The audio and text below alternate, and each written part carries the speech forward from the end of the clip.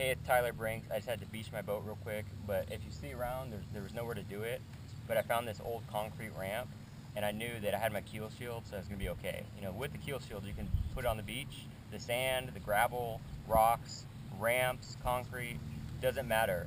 You know, with that KeelShield, you have that protection, and you're gonna be okay. Check them out, keelshield.com.